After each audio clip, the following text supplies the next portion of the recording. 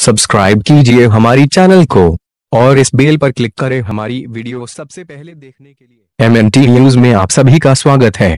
Corona virus की चपेट में अब एक्टर आमिर खान का घर भी आ गया है।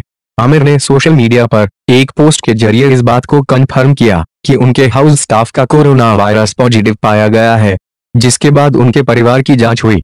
इस जाँच में आमिर और उनका परिवार कोरोना नेगेटिव पाया गया, लेकिन उनकी माँ जीनत हुसैन की जाँच अभी तक नहीं हुई।